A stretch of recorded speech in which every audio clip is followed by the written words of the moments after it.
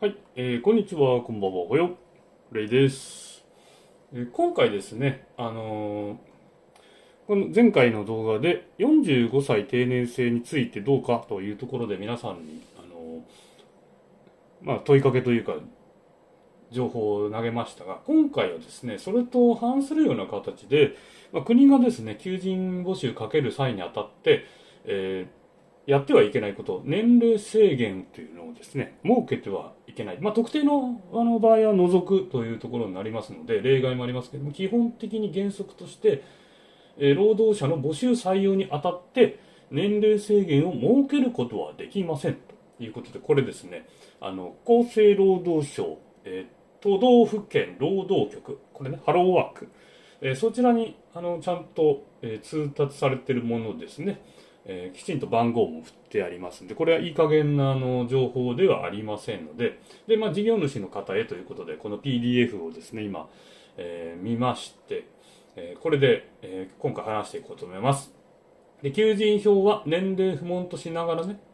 え年齢を理由に募集を断ったり、書類選考や面接で年齢を理由に歳費を決定する行為は法規定に法の規定に反するものです。だから法にですね、まあ、労働基準法とか多分そちらの方に定められてるのかなと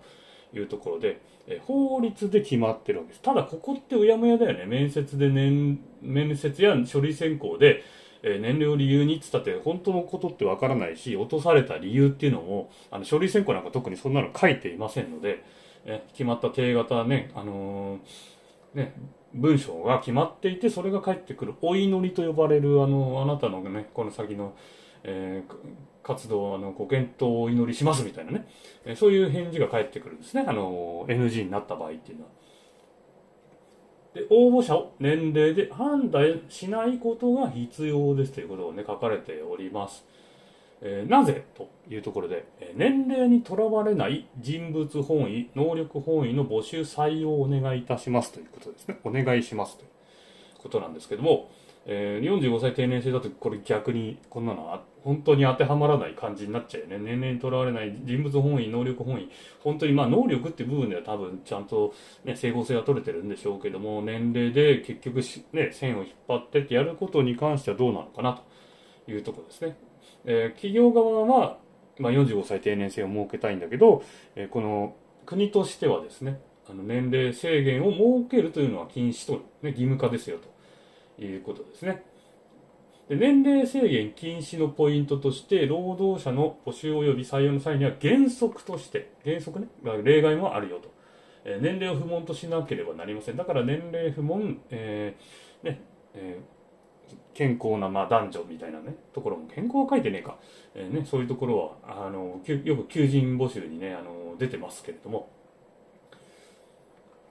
で、じゃあメリットどんなことがあるのということで、えーただ単に、えー形式的に求人票を年齢不問にすれば良いということではありません。年齢を理由に応募を断ったり、処理選考や面接で年齢を理由に、え歳費を決定することは違法違法違反になるとね、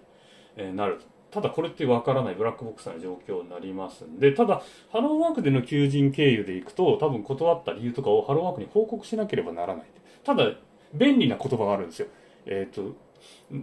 まあ、当社の、えー応募基準に、えーまあ、満たないみたいなね、あの経験不足だとかそういうので書かれてしまって、はい、NG ってなったらそれまでなので、あまりなんかここは強い拘束力はないのかなと。で、じゃあどんなメリットがあるのかと。ね、年齢制限をなくすとこんなメリットがありますよということで、年齢の幅を広げることによって、より多くの応募者が集まる。そりゃそうだよね。あの、30歳までって言ったら30歳までの絶対的な人口数っていうのが決まってますんで、そうすると30以上の40、50、60の方は応募できないので、まあ、分母が広がりますよと。で、採用したい人物像を明示すると。ね。まあ、こんな人うちに来ても欲しいなっていうので、えー応募者の精度が高まる。ね、応募者のね。まあ、どうかわかんないですけどね、この辺はね。えーでも年齢不問にするだけでは求める人材を見つけられないんじゃないのかと。具体的にどうするの？と言ったら、例えばこんな場合年齢を設けて募集採用して OK なのどうなの？というところですね、えー書いております。まあ、ハードな重労働高高齢者には到底無理40歳以下で募集しますとかっていう内容はじゃあどうなのと。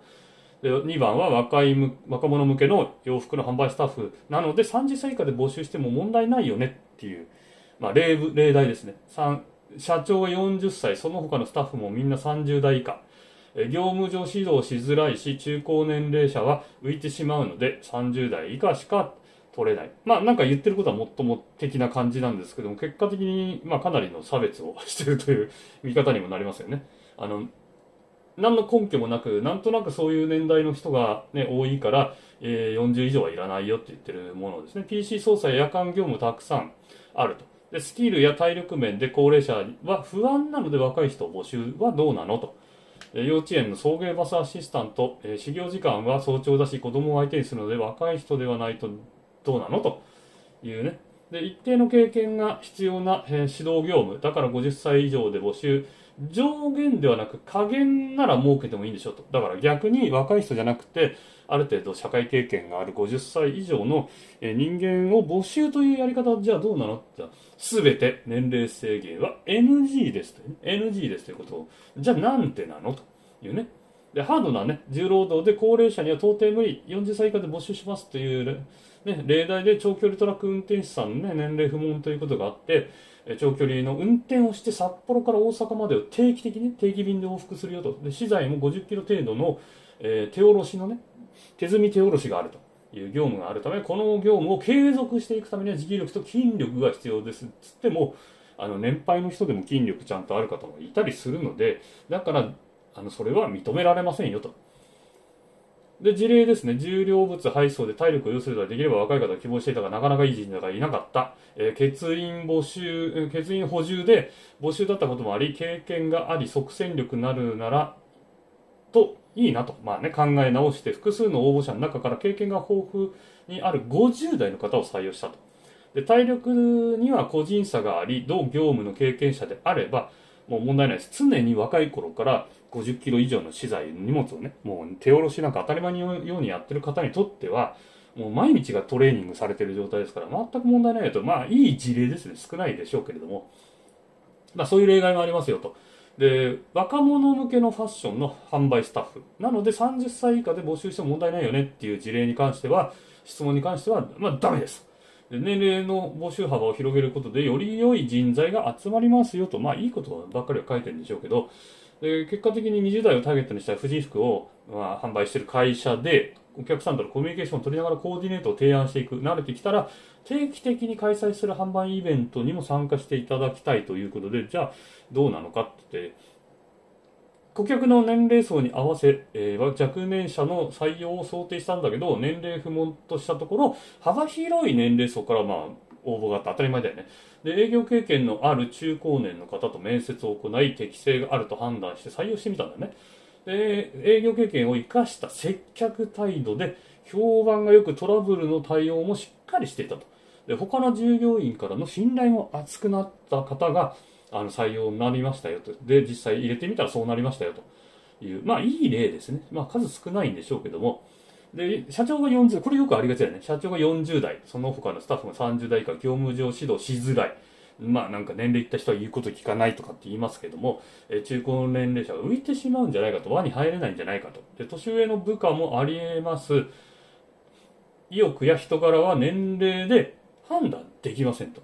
えー年上だからみんなが役職好きってことではないですからね。誰かしら平社員とかっていうのはなってますから。で、一般事務の年齢不問で、えー、とですね、40代の社長が1年前に創設したベンチャー企業であると。それ総務部門において、えー、担当者30代の人がね、まあ、指導のもとね、30代の指導のもと、えー、教えなきゃなんないっていうね。なので、自分より年長者指導しづらいし、若い方が入社すると職場に活気が出ると考えていたと。だから若い人を募集してたよと。まあ、しかし40代の方の応募があったため、面接で人柄なども考慮し採用してみたよと。まあ、そしたら年下のし、ね、上司の指導を謙虚に聞き入れ、誠実に仕事に取り組む姿勢が他の従業員の刺激にもなっていると。で、とても良い人材を採用できたよっていう事例もあるよと。まあ、これは本当にね、あのー、一部なんでしょうけども、まあ、こういう効果もありますよと。で、PC 操作夜間業務もたくさんあって、スキルや体力面で高齢者は不安、不安じゃねえかと。いうところでやってみたら、えー、意外とこのね、大変そうなこのホームヘルパーね、介護の仕事とかっていうね、えー、こともあったりするんで、夜間のね、清掃業務だとかっていうのは、まあ、福祉施設のね、清掃や材料の買い出し、調理、えー、日誌、ね、こういうのを経験者だったから、えー、まあ、やれたと。で、69歳の方が応募があって、やってみたら、もう年齢差、あの年齢を感じさせない元気さがあって、えー、介護経験が豊富にあったことから、年齢に関わらず、あの、人物本位で採用してみたよと。非常に良かったと。経験者だったしっていうところでね。まあ、こういうこともあるわけです。で、幼稚園の送迎バスアシスタントで、で、始業時間が早朝だし、子供相手にするので若い人ではないとダメなんじゃねえかということをやっていたんですが、えー 幼稚園の送迎バスアシスタント、子供相手にすることから若い方の応募を想定していたが、60代の方から応募があって、じゃあ実際に熱意とかが、ね、人柄は良かったんで採用してみたら、えー、ね、で、特定求職者雇用開発助成金っていうのもね、多分決められたものがあって、それを、あの、できる、利用できる。えー、だから要は、採用側にもメリットがあるし、採用した方も助かったよと。親御さんのように一生懸命子供と接して活躍していることから、今後の採用も年齢に関わりなくしたいというね。まあいいことしか書かない当然ですよね。一定の経験が必要な指導業務だから50歳以上で募集と。まあ逆に若い方じゃなくて、ある年齢、年齢層からの上を募集っていう制限を設けてみましたよと。逆のパターンですね。えー、ですんで、まあどうなんと、まあ本当に金属製品のこうね、製造工程において専門的な知識や経験をもとに精密板金の加工作業を行うとともに製造工程を管理、工程管理って結構大変だからね。で、現場で、えー、指導監督できるスキルを持つ、えー、人を確保したいということだったんですが、経験が10年以上あるね。まあ、工場経験が10年あって、40代の方から応募があり、前職ではリーダーとして働いていたこともあって、えー、若い社員への対応も十分可能であるとして採用。社員の指導、社員への指導も、えー、的確で現場の業務がうまく回るようになったというね。まあこれは、えー、そんなに、え思いっきり経験がなくても、まあ10年はやってますよと。えで、40代だよ。まあそれは10年以上やってるしっかりはするわね。で、例外として年齢制限が認められる場合っていうのもね、あったりするわけです。要は定年を、例えば60歳なんだから、60歳ね、未満のね、え、人を募集ということもね、まあどうなのということなんですけども、上限とすることができるのは定年年齢であって、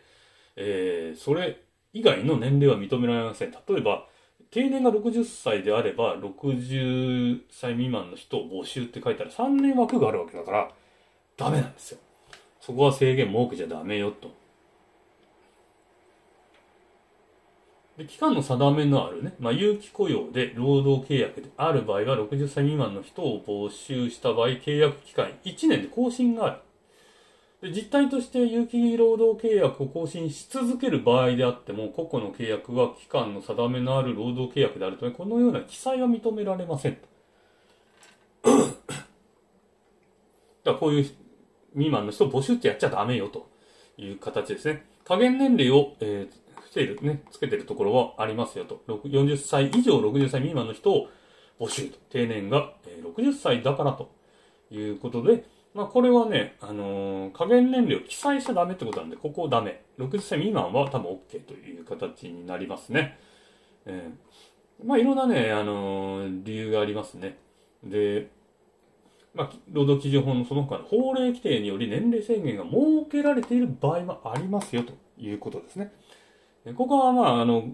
ホームページから PDF 拾って詳しく読んでいただけたらいいんじゃないかなと。危険有害業務っていうので18歳以上だから17歳、16歳以下。ダメですよと。え18歳以上の募集ということで、警備業法ってね、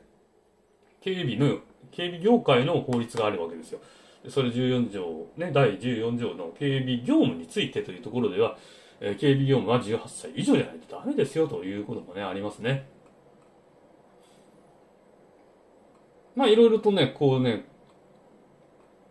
いろいろな約款があったりするんですけれども、うん、まあ、なんで、あの年齢不問にしなきゃいけないのっつったら、えー、そういうね、わざわざ制限を設けて、しまうと働ける人が限られてしまいますよだから均等にえ多くの年齢層の方が働ける機会というのを、えー、与えなければならないというねあの苦肉の策でやったんでしょうけども、え、まあそんなこんなものはねあのくぐる方法はいくらでもありますんでね逃げれる方法っていうかね、えー、だって求人広告よく書いてあるじゃないですかあの例えば年齢不問であっても A さんモデルケースが書いてあって A さんが25歳で、えー、妻子、ね、子供が1人と奥さんがいて、えーね、勤続3年目主任、えー、35万とかって書いてあるわけじゃないですか。で、30歳独身で、えー、課長、係長って書いてあって、400万、600万って書いてあったりするんですけれども、あの、そういう求人広告があって、そこのその募集項目以外、要件以外に、あの、ね、20代中心のアットホームな会社ですとか、あの、30代活躍中とか、40代活躍中って書いてあるんですよ。ということは、その活躍中以外の40代活躍中だったら40代以下の人募集なんですよ。で、20代中心のなんとかですって書いてあったら、20代を取りたいんですよ。そういう書き方は多分 OK なんですね。だからよく求人に見え見えますよね。そういうの。見られますよね。だから、あの、そういうところにわざわざ行かないというのも、また選ぶ選定の基準になりますね。あの、応募者からしたらね。20代にね、あの、アットホームな会社ですって言ってるのに関わらず40歳、50歳の人が行ったら、あもう話になりません。絶対あの、落ちますんで、100%落ちますんで、あの、そういう、だから文言をちゃんとよく見る、空気を読むというところもね、応募者側からしたら、あの、無駄な時間になりますからね。行くだけ無駄だし、なんか話すだけ無駄だしね。え、会ってくれることも会ってくれるかもしれないんですけども、多分電話で変なこと言われると思いますんで、あこれは経験した人しかわからないと思うんですよ。まあだからこんな決まりはちゃんとあるんですけれども、抜け道はいっぱいありますよというところで、現実はそんなに甘くないということですね。えー、じゃあすげえな、こんなことがあるんだから、企業は当然ね、何歳でも面接受け入れてくれるだろうったら大間違いです。やっぱりそこの会社の層で欲しい年齢層っていうのは必ずあるわけなんですよ。でそこを強調してきますんで、その強調しているとこから自分が外れていたら、あの正直言ってあんまり応募しない方がいいと思います。そういうとこはね、あの採用されにくいです。